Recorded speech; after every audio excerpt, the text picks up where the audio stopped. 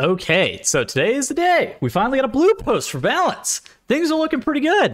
Um, all right, let's talk about it, read through it, talk about implications, what it means, things we're excited to see, things maybe we're less excited to see, and just kind of what this blue post is going to end up meaning for Moonkin.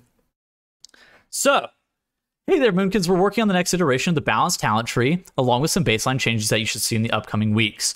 Players will see some of our changes in next week's build, but the full suite of changes will not be in the beta until the following week. That said, we wanted to give you a quick preview in the meantime. Mastery Total Eclipse has been redesigned the following. It got renamed to Ma- Astral Invocation, and it includes your nature damage.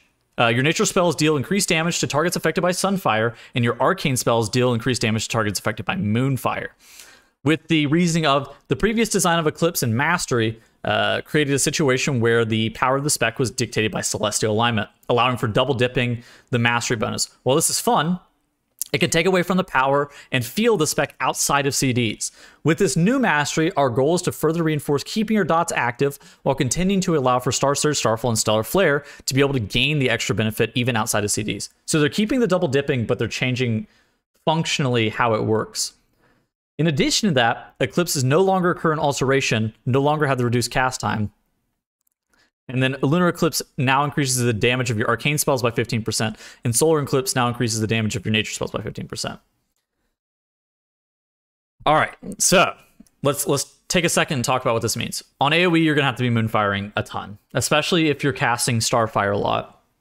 This probably means that things like Twin Moons are a little bit more um, promoted, just with the uh, the reason that you have to be able to moonfire this is going to be especially true on like the five target range maybe even like the three target range. So this is promoting dotting in a more serious manner. On single target it probably doesn't change a lot. I'm really interested to see what it's going to end up doing to our um, just mastery on aoe in general.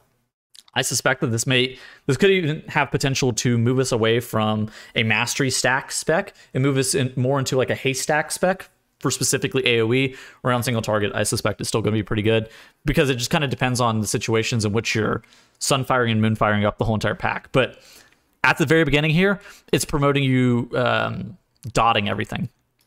In addition to that, now with the changes of eclipses, with this has the reasoning of from reviewing feedback and discussions, we've found two common themes for eclipses. One, there's a lack of control with the rotation that can feel bad on both single target and AoE. And two, having to cast two empowered abilities, Wraths or Starfires in this case, to enter Eclipse, combined with their weaker baseline power, and Starfire's long cast time is underwhelming. With these changes, our goal is to allow you to exit, say, Solar, and then re enter Solar Eclipse by casting two Starfires again. We're also looking at adding talents to improve the feeling of casting unempowered Wraths and Starfires between eclipses. My tinfoil hat is that Leaf on the Water is going to be one of the talents, which is uh, the Torghast power, which means that, like, eclipses take one fewer spells to trigger. That's my that's my uh, my tinfoil hat, but I'm not exactly sure. So this eclipse change though is very interesting. I'm I'm not really sure how I feel about it. This is the only thing that I've I've seen today that I'm still not sure how I feel about it, but I'm not overtly negative on it. It's more like a I want to play with it and see how how it feels. So on one hand, having more control of your eclipses is nice, especially on like AoE situations. You're going to be able to force yourself to stay in lunar lunar eclipse, whereas on bosses and single target situations, you're going to be able to force yourself to stay in a solar and have a little bit more control over when you're uh, rotating those eclipses just generally. So that's the upside. The downside is like I worry about feeling like I'm stuck in Lunar Eclipse for 30 minutes in a Mythic Plus dungeon and it's still not feeling like it mattering. So how I feel about it right now is I'm alternating eclipses and I'm playing a talent, Soul the Forest, that should promote me casting a lot of abilities inside of Lunar Eclipse just generally. Like I should be promoted on AoE by casting a lot more abilities in Lunar Eclipse. But as it currently stands, I don't even feel like I'm being promoted by casting a bunch of abilities in Lunar Eclipse as it currently stands. So I wonder what this is really going to change in regards to feel. So on on that, that's kind of the second point. So on one hand, it's nice that I have more control. On the second point, does it really change anything? Is it really going to change fundamentally how eclipses feel? I'm not sure. I think that this is something that I need to play with, and I'm, I'm not really able to make an accurate opinion of it until I see it. I don't think it's bad. I think at minimum it's neutral, and I think it has a, a decent amount of upside of potentially being fairly solid. Now, let's get into the stuff that people wanted to see. Starfall. It has been redesigned to the following instant, it costs 50 astral power. and it calls down a wave of falling stars at the targeted area, dealing astral damage over eight seconds.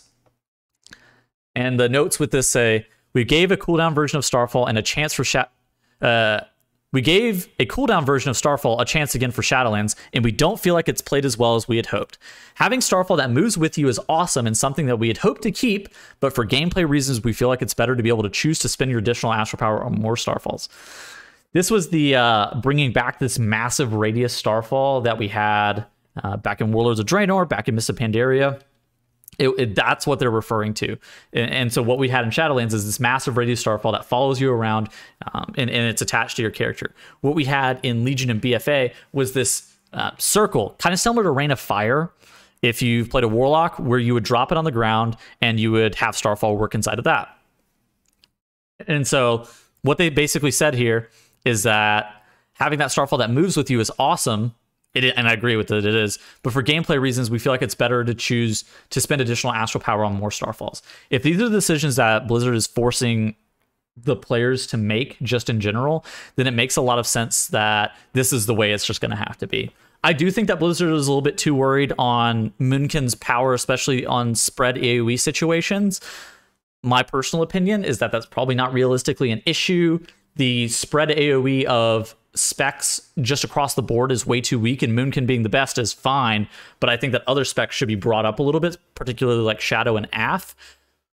However, if Blizzard believes that it's a balancing issue and it's going to cause more problems than it solves, and and this is just one of those things that one of those decisions we have to make is like it has to be a targeted reticle but at the upside of you be able you're able to spend additional astral power on more starfalls that's something that we absolutely can take just as a player base because more being able to use your spender on aoe more reliably is going to be pretty important Next, improved Star Surge has been removed. Star Surge no longer empowers the damage bonus of active eclipses, and the reasoning is uh, it encouraged pooling resources more than we would have liked, and the mechanic was hidden enough for some players to be able to be unaware of the gameplay it encouraged. It, it basically did nothing. In addition to that, it was coming back in the Dragonflight talent tree, and so uh, it, it's actually this node right here. And so by him saying it got removed, it means that some other stuff is going to change with our talent tree just in general.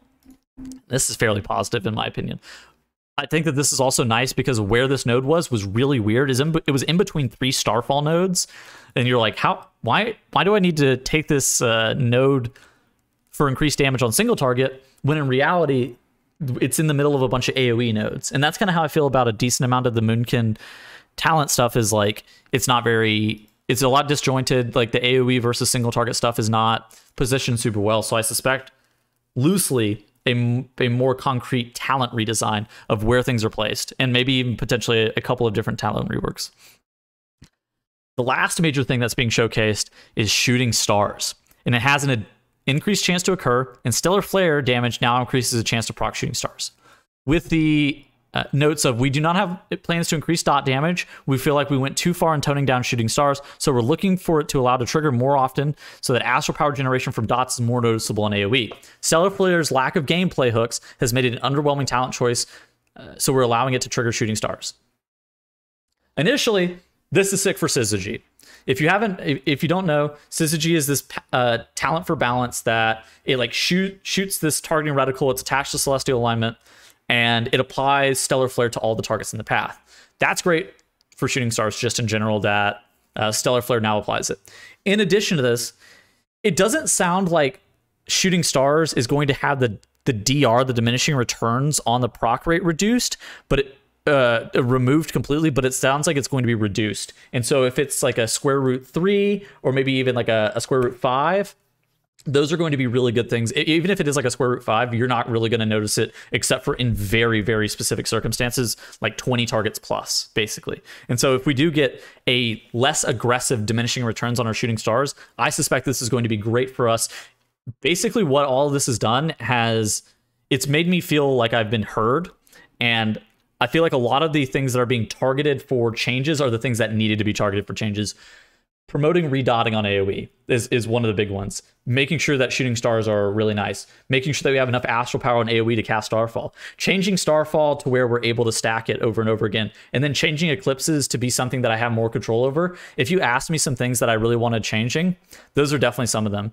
From here on out, uh, at the bottom of this, it basically says this is only a small peek at what we're looking on, uh, what we're working on, and by no means a complete change list. Our goal is posting this posting some of the larger, more systemic changes in order to gather initial feedback and take that into account when continuing implementing our remaining changes. We appreciate the feedback thus far and look forward to hearing more of your thoughts regarding Balancer in the upcoming weeks. My thoughts, these are great changes. I suspect that there is still some work to be done, specifically with our talent tree just in general. There are some nodes that I really do not like, and uh, just the, how some of this stuff is uh, functioning is problematic. I think our capstones need a lot of working on as well, just making them really feel like capstones.